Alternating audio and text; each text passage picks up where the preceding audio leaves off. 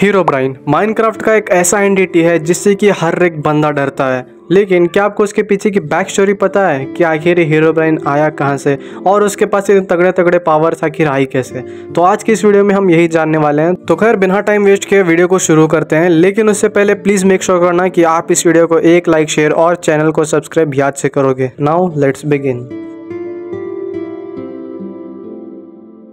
एक अंधेरी रात में तीन बंदे अचानक से इस जगह पर टेलीपोर्ट हो जाते हैं, जिनका नाम होता है एलेक्स स्टीव और ब्राइन वो किसी और ही वर्ल्ड के थे, और जब तक वो सोचते कि आखिर उनके साथ क्या हुआ, उतने में उनके ऊपर जॉम्बीज ने हमला कर दिया। उन तीनों ने इन क्रिएचर्स को पहली बार देखा था, और वो उन्हें देखते ही सीधा अपनी जान बचा के वहाँ से भागने लगे। और वो भागते भागते सीधा पहुँच गए एक जंगल में, और वो जंगल इतना ज़्यादा घना था कि वहाँ पर ठीक से चलने की जगह भी नहीं थी। और उतने में स्टीव के ऊपर एक जॉम्बी अटैक कर देता है, और वो अपने हाथों से उन्हें मारने लगता है। और उसके दोनों दोस्त बस खड़े हुए उसे देखते रहते हैं। उतने में स्टीव बोलता है कि हमें यहाँ से भागना पड़ेगा। तुम दोनों दोस्त मेरी मदद भी नहीं कर रहे। उतने में एलेक्स बोलता है कि अरे कैसे भागे? यहाँ पर तो थोड़ी भी जगह नहीं है चलने की। हम नहीं बच सकते। उतने में ब्राइन क्या करता है? पेड़ों के ऊपर चढ़ जाता है और उसे देख उसके दोनों दोस्त भी उसके पीछे चढ़ जाते हैं पेड़ों के ऊपर। और वो बचते बचते पेड़ों के ऊपर ऊपर से कुत्ते आगे बढ़ते हैं और जॉम्बी से बचने के लिए वहीं पर बैठ जाते हैं। और जैसे जैसे टाइम बीतता है, सुबह होने लगती है और उस धूप की रोशनी की वजह से वो सारे जॉम्बिस जो थे, वो जलने लग जाते हैं। और जैसे ही सारे जॉम्बिस जल के ख़त्म हो जाते हैं, वो तीनों वापस से प्लान बनाते हैं, चलो आगे बढ़ते हैं, हमें कुछ ना कुछ तो मदद मिल ही जाएगी। तो तीनों दोस्त आगे बढ़ते हैं फिर से, और इन्हें बहुत तेज भूख भी लग रही थी। इनके पास खाने के लिए कुछ भी सामान नहीं था, इन्हें बस दिखा तो एक कोका सीड जिसे इन्हें पता भी नहीं था कि क्राफ्ट कैसे करते हैं, कैसे खाते हैं, और उतने में इन्हें आगे मिलती है एक गाय का झुंड। उन गायों को देख के ब्राइन बिना सोचे समझे एक गाय के ऊपर कूद जाता है और उसे मारने लगता है। वो अपने हाथों से ही उसे मार देता है, और जैसे ही वो उसका गोश्त पड़ता है, वो उसे कच्चा खाने लगता है। उतने में एलेक्स बोलता है कि, छी ब्राइन, उसे पका तो ले। उतने में ब्राइन बोलता है कि, क्या तुम्हें यहाँ पर कहीं आसपास फर्नेस दिख रहा है? नहीं ना, ये सर्वाइवल गेम है, हमें कुछ ना कुछ तो करना ही होगा। तो वो सुन के एलेक्स और स्टीव दोनों उन गाय को मारते हैं और उनका गोश्त खाने की कोशिश करते हैं, लेकिन उनसे वो खाए नहीं जाता। तो उधर सट के और आगे बढ़ते हैं और थोड़ी दूर पर उन्हें एक विलेज दिखता है। तो बहुत ज़्यादा खुश हो जाते हैं और सीधा बिना सोचे समझे एलेक्स और स्टीव जाते हैं उनके पास मदद मांगने। वो कुछ भी नहीं सोच रहे थे कि अजीब से दिखने वाले बंदे हैं कौन। वो बस जाते हैं और उनसे मदद मांगते हैं। वो सब लोग मान जाते हैं कि इनकी मदद करने के लिए। वो इन्हें यहाँ पर रहने के लिए देते हैं खाने पीने का सामान देते हैं और सब कुछ। उतने में एलेक्स और स्टीव बोलते हैं कि हमें भी हंटिंग करना सिखाओ टूल्स बनाना सिखाओ क्राफ्टिंग सिखाओ। तो उसमें से एक विलेजर जाके उन्हें सब कुछ सिखाने लगता है और एलेक्स और स्टीव सब सीख भी रहे थे। उन्होंने टूल्स बनाना सीख लिया था क्राफ्टिंग करना सीखा था और वो दोनों खुश थे, लेकिन ब्राइन खुश नहीं था। वो बोल रहा था कि कैसे मेरे दो दोस्त इन पागलों के पीछे लग गए हैं? अपने घर को जाने का रास्ता ढूँढने के बजाय ये कहाँ इनके पीछे लग गए?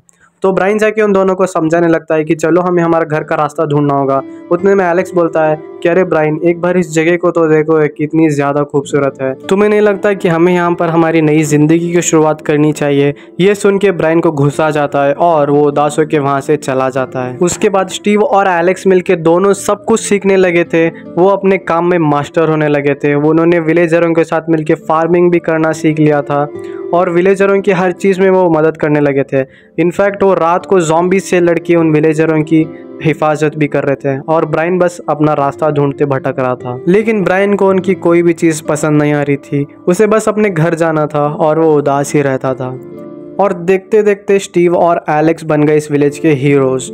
ये बात आसपास के सारे विलेजेस में फैल गई कि कैसे दो बंदे आए, आके वो हमारी सारी काम में मदद करते हैं और रात को जॉम्बी से हमारी हिफाजत भी करते हैं। तो उन दोनों की इज़्ज़त बहुत ज़्यादा बढ़ गई थी, सारे विलेजेस में और जो विलेज में रह रहे थे वो भी। लेकिन ब्राइन को ये सब देख के बुरा लग रहा था कि कैसे उसके दो दोस्त मिलके पूरे इसी वर्ल्ड के हो गए हैं। ना तो अपनी वर्ल्ड के बारे में उन्हें ज़रा भी फ़िक्र नहीं है। तो वह इन दोनों को यही छोड़ के वापस से चला जाता है अपनी घर का रास्ता ढूँढने के लिए। अकेला भटक रहा था यहाँ वहाँ, लेकिन इस बार उसे कुछ अलग चीज़ देखने के लिए मिलती है। एक ब्लॉक। ये इसने ज़िंदगी में पहली बार देखा था। वो बहुत ज़्यादा क्यूरियस हो जाता है कि आखिर एक कैसी चीज़ है। तो उसके पास चला जाता है। वो उसकी वर्किंग के बारे में सोचता है और उसके बारे में और ज़्यादा जानने लगता है कि आखिर ये अजीब से दिखने वाली चीज़ है क्या?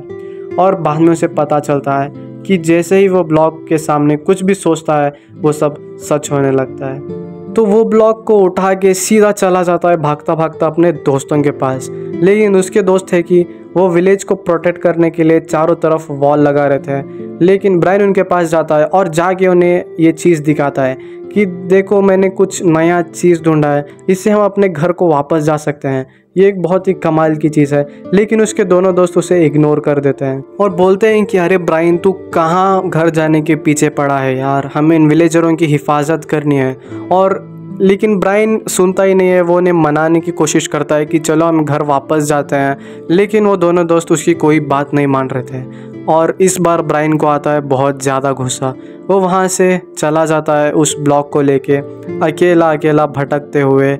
और इस बार उसे ना तो किसी चीज़ का डर था, ना ही कोई जॉम्बी का, क्योंकि उसके पास था कमांड ब्लॉक और वो बस अंधेरी रात में अकेला अकेला भटकता फिर रहा था और इस बार उसने डिसाइड किया था कि चलो, अभी उन्हें इस वर्ल्ड की असलियत दिखाते हैं। वो कमांड ब्लॉक की मदद से उसने कुछ ऐसा किया, जो कि उसके दोस्तों का हैरान कर दिया। लेकिन स्टीव और एलेक्स तो अपने अलग ही मज़े में थे। वो अपनी विलेज की मदद तो कर ही रहे थे, लेकिन आसपास सारे बाकी विलेजरों की भी मदद भी कर रहे थे।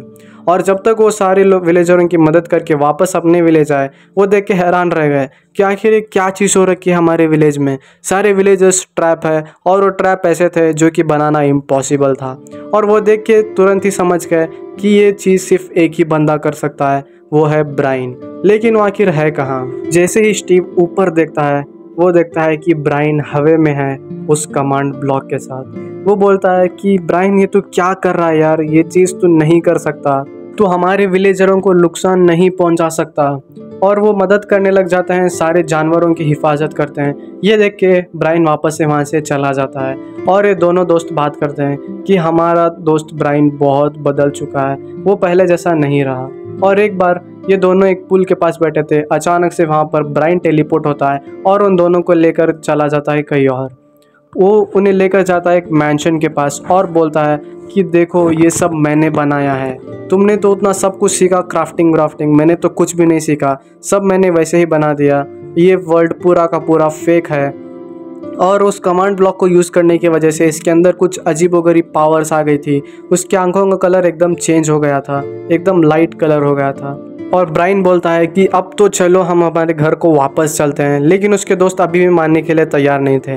तो ब्राइन उन्हें टेलीपोर्ट कर देता है एक जेल में और चला जाता है एक रिचुअल करने। वो एक बहुत ही ज़्यादा खतरनाक रिचुअल करने वाला था, जिसके बाद उसके अंदर बहुत ही ज़्यादा तगड़े पावर्स आने वाले थे। तो जैसे ही उसने रिचुअल कंप्लीट किया, उसके आँखों का कलर चेंज हो गया एकदम वाइट में, और उसके पास बहुत तगड़े पावर्स आ गए। तो यस, ये थी स्टोरी हीरो ब्राइन की। कैसी लगी नीचे कमेंट में आप ज़रूर से बताना। तो यस, आज की वीडियो में बस इतना ही था। मिलते हैं आपसे एक नए वीडियो में। तब तक के लिए स्टे ट्यून बाय बाय